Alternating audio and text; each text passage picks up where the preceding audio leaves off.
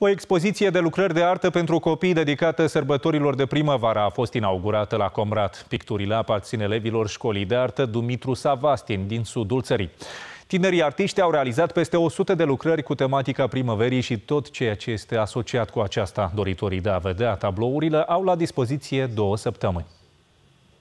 Peisaje vii și natura moartă, imagini ale vieții rurale și portrete feminine, toate sunt reflectate în tablourile celor mici. Copiii au pictat lumea primăverii, a bunătății și a tandreții.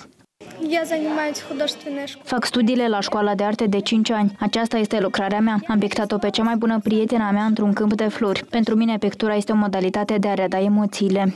Mai работа Titlul lucrării mele este Spirit de primăvară. Aici vedeți o fată zâmbitoare căci a venit primăvara. Ei plac florile de primăvară. Sunt fericită că lucrarea mea a fost expusă aici.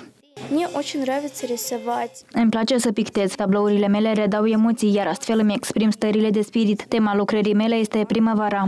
Expoziția de primăvară cuprinde peste 100 de lucrări realizate de elevii școlii de artă Dumitru Savastin.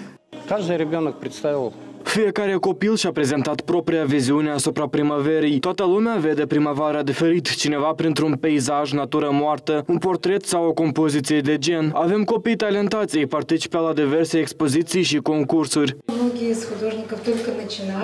Mulți dintre artiști abia și încep drumul creativ, dar sunt foarte talentați. Lucrările sunt minunate și colorate pentru că fiecare copil și-a pus aici o bucată din suflet, gânduri și vise.